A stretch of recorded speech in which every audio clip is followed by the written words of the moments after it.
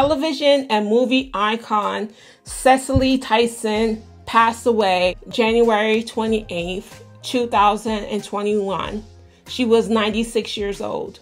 The Oscar nominee and Tony Award winner has been in the entertainment industry for over 60 years. She broke a lot of boundaries and paved the way for young black actresses to get the movie roles that they get now. She was nominated for an Oscar and won a Tony Award during her career. She was given the Medal of Freedom by President Barack Obama in 2016. It is the highest civilian honor a person can receive. She will be greatly missed. You guys remember Joe Giudice? He was the husband of Teresa Giudice on The Real Housewives of New Jersey. He was very successful in the business of construction. But during the time of him filming Real Housewives of New Jersey, he was arrested and charged with fraud and he was convicted.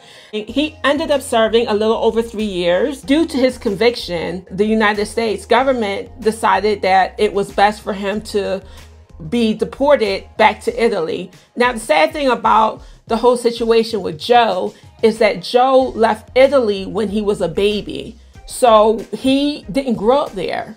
He grew up in the United States all his life. Him and his wife Teresa ended up getting a divorce. But anyway, Joe is currently trying to pitch a new reality show starring himself. He's trying to get different production companies involved, and it's in the beginning stages of being developed. It's not something that is written out yet. He's just pitching out the idea to try to get a production company on board and start filming his show in Italy since he's now single. It will be interesting to watch because during his time on Real Housewives of New Jersey, it seemed that Joe had a little bit of a temper. It will be interesting to see if age and him being in another country has cooled his temper and matured him. Rule created a new app for celebrity bookings. It's called Icon. Celebrities can use this application to book their gigs. Some of the celebrities that's already featured on this application is Trina,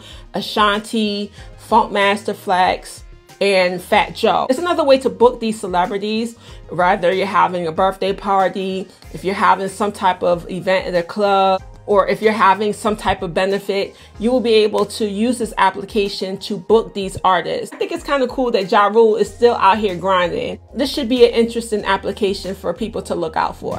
All right, you guys, thank you for watching my latest video on trending topics. Hopefully, I'll see you next week. Ciao.